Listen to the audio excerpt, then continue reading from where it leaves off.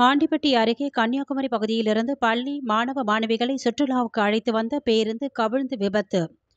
காயங்களுடன் பதினைந்துக்கும் மேற்பட்ட மாணவ மாணவிகள் மற்றும் இரண்டு ஆசிரியர்கள் தேனி அரசு மருத்துவக் கல்லூரி மருத்துவமனையில் சிகிச்சைக்காக அனுமதி.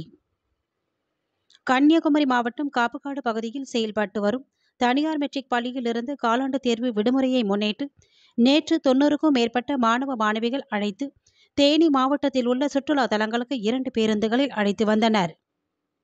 இன்று அதிகாலை சுமார் ஐந்து மணி அளவில் தேனி மாவட்டம் ஆண்டிப்பட்டியை அடுத்துள்ள குன்னூர் டோல்கேட் பகுதியில் வந்து கொண்டிருந்தபோது நாற்பத்தி ஆறு மாணவர்களை ஏற்றிக்கொண்டு வந்த ஒரு பேருந்து. டிரைவரின் கட்டுப்பாட்டை இழந்து சாலையை விட்டு இறங்கி வயலுக்குள் தலை குப்பர கவிழ்ந்தது.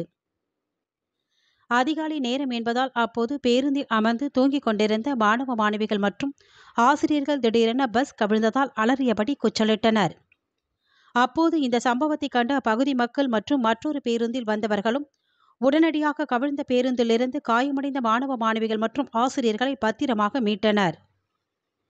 இந்த விபத்தில் காயமடைந்த சுமார் பதினைந்துக்கும் மேற்பட்ட மாணவ மாணவிகள் மற்றும் ஆசிரியர்களை ஆம்புலன்ஸ் மூலம் தேனி அரசு மருத்துவக் கல்லூரி மருத்துவமனைக்கு அனுப்பி வைத்தனர். இந்த சம்பவம் குறித்து தகவல் கிடைத்ததும் விரைந்து வந்த கா விளக்கு போலீசார் விபத்துக்கான காரணம் குறித்து விசாரணை நடத்தி வருகின்றனர்.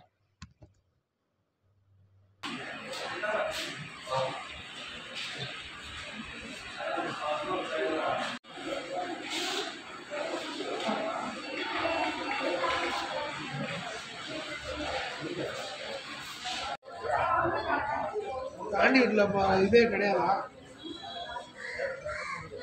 என்ன?